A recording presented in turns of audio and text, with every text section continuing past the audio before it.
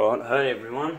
Um, we received a request for a melting video um, on platinum, so we'll be doing that today. Now, the pieces that I've got sitting down here today are cut-offs from previous jobs. So it's all fresh metal, so this has never been remelted before. Um, so we're going to melt this today, but the way that I melt platinum is much different to the way that I'll melt pretty much any other metal. Um, I had this sort of made, this little cap made, sort of prevents it. This is good for platinum and palladium for after the melt has gone down, so you cap it and you reduce the amount of oxygen that is sucked into the metal as it turns from a liquid form to a hard form. Um, so that's that's one tip that I use. What otherwise that you can do it is maybe with a crucible, use another crucible and stick that over the top. Um, but yeah, so I'll, I'll, go into it now. Now I melt into a blob, um, trying to melt into a bar form with platinum or tipping it into a steel ingot or even the ceramic. It's just too hot. Um, it just cracks, you know. So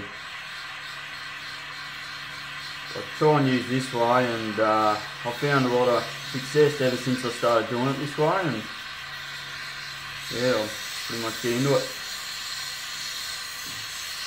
I just want to heat it slowly, don't want to heat it too fast. Um, I haven't preheated this crucible because this is such a high melting temperature.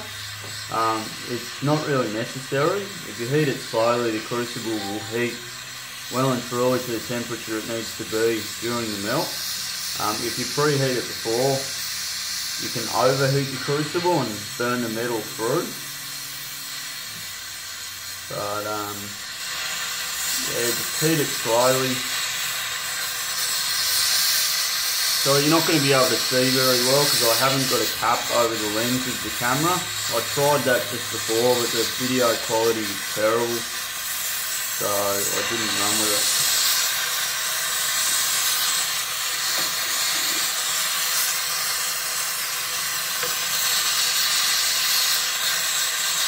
Now when melting platinum, very important to have good melting goggles. Um, pretty much trying to melt without the goggles, um, it's very dangerous to your eyes. I never ever recommend it.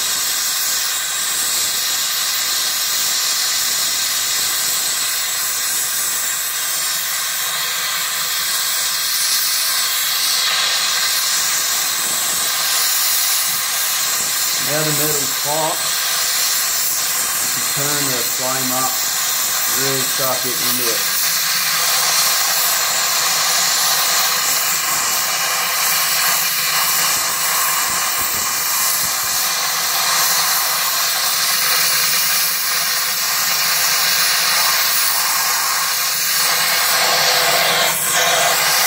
preheat the cap a little bit.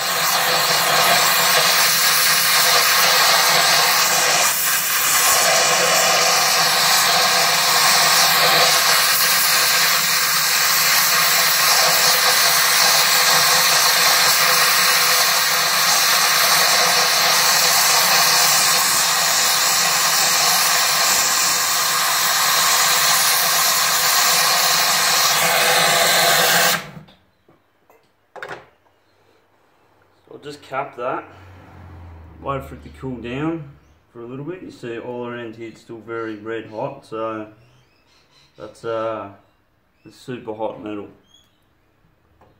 So as it cools, you can remove the cap once it sort of gets hard. Um, all I want to do is just stop any oxygen going into the metal, giving it bubbles. Um, that's really not what we want. So it's still pretty hot there now. Now, never use steel tweezers um, on platinum. Um, some people do it, they say they don't really have any problems, but it can contaminate it um, and just make your final polish hard. You know, you, you just get a, a surface with kind of like bubbles, but it's you just never get a perfect finish on it. Now, as you see here, I'll wait for it to cool a little bit. Now, it should actually crack free. Now, the, the ceramic, it will sink down and melt into the ceramic crucible. Um, this isn't a platinum melting crucible, but the suppliers around here at the moment don't have any. So, I'm sort of using what I've got to use here. Um, now, platinum expands and contracts in heat. So, as all around here, it would have sunken into this crucible a little bit. So as this um, cools down, the piece will actually become smaller and crack free. So at the moment, see I'm pushing it, it's not coming out, but as it cools, as it continues to cool, the piece will just become smaller and smaller. But the outline of where it's melted into will stay the same and it should crack free. Um, on larger melts, probably bigger than this, the piece will actually crack and jump off as it cools down um, which is pretty cool. But um, yeah, I don't know if we're going to get that here today. Getting pretty close, it should come off here in a minute. Yeah, there we go. Alright, so we've got a little bit on the back here. This is a little bit of ceramic. So what I'll do is I'll just pause the video and I'll throw that in the acid for 10 minutes, dissolve all that, and uh, we'll remelt the back and we'll come back to it.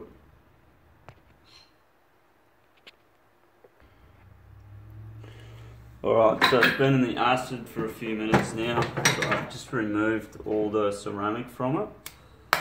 So we'll, we'll go again and um, pretty much this time all I want to do is just sweat the back of this metal where it's all rough and scaly now. Just want to sweat it without melting the other side so I've got two clean surfaces on both ends. So won't take much this time to do, but